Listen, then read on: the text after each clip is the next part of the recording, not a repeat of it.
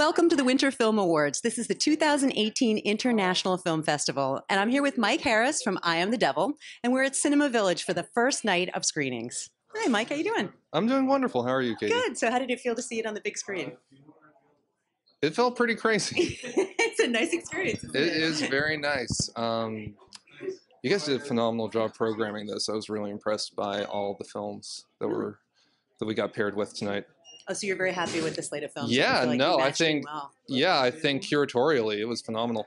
Great, thank Yeah. you. And, well, I know we uh, we definitely have a rigorous screening process for films, and I know Stephanie works very hard on that. So, She does a great job. so there's is there anything you'd like to say about the film? A little bit of a synopsis. Well, yeah, I mean, I Am the Devil is the true story of Operation Midnight Climax, which was a CIA program that ran from 1955 to 1965, wherein the CIA set up fake brothels in San Francisco, New York City, Marin County, and California, and they would lure traveling businessmen, long haul truckers, guys that could disappear for a few days without anyone really asking any questions under the auspices of paid sex, but then would, without their knowledge or consent, dose them with LSD and subject them to psychological and physical torture in an effort to perfect mind control against the Soviets.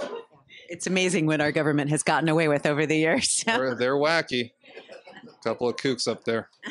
well, well, we really enjoy having you here, and thank you very much for your uh, thoughts about the festival. And we really enjoyed seeing your work. Thanks. Thank you for having me.